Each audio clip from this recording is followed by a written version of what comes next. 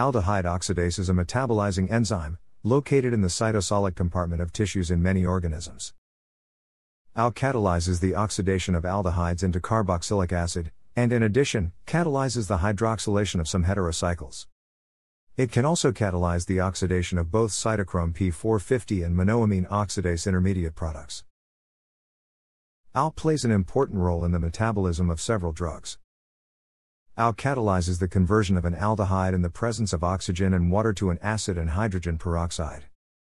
Though the enzyme uses molecular oxygen as an electron acceptor, the oxygen atom that is incorporated into the carboxylate product is from water, however, the exact mechanism of reduction is still not known for AU. The AU also catalyzes the oxidation of heterocycles, which involves a nucleophilic attack located at the carbon atom beside the heterotome. This means that susceptibility to nucleophilic attack of a heterocycle determines if that heterocycle is a suitable substrate for AU. Aldehyde oxidase is a member of the molybdenum flavoprotein family and has a very complex evolutionary profile, as the genes of AU varies according to animal species. Higher primates, such as humans, have a single functioning AU gene, whereas rodents have four separate OX genes.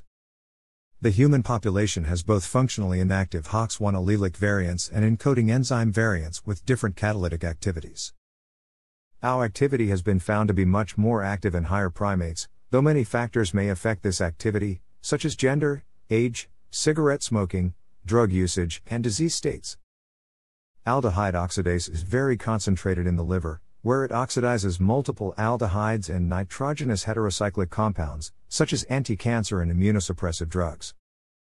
Some AU activity has been located in other parts of the body, including the lungs, the kidneys, and the gastrointestinal tract. The regulation of expression of AU is still not completely known, though some studies have shown that the OX1 gene is regulated by the NRF2 pathway. Some known inhibitors of AU are sterol and phenol compounds, like estradiol. Others include ensacharine, 6,6-azopurin, chlorpromazine, cimetidine, cyanide, diethylstilbestrol, genistein, isovanillin, and methadone. AU is very similar in amino acid sequence to xanthine oxidase. The active sites of AU has been found to have a superimposed structure to that of EXO, in studies involving mouse liver. AU is a homotomer, and requires FAD, molybdenum and 2,2-Fe2S clusters as cofactors.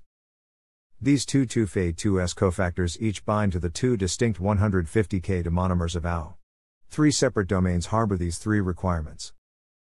There is a 20K to N terminal which binds to the two 2Fe2S cofactors, a 40K domain which provides a means of binding to the FAD, and a C terminal which houses the molybdenum. Aldehyde oxidase is thought to have a significant impact on pharmacokinetics. AU is capable of oxidizing many drugs in the liver because of its broad substrate specificity. AU greatly contributes to the hepatic clearance of drugs and other compounds. For example, cytoplasmic OX1 a key enzyme in the hepatic phase a metabolism of several xenobiotics.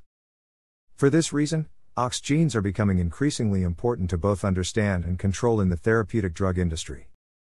Pfizer TLR7 agonist program has found several techniques to switch the AU metabolism off. Thanks for watching.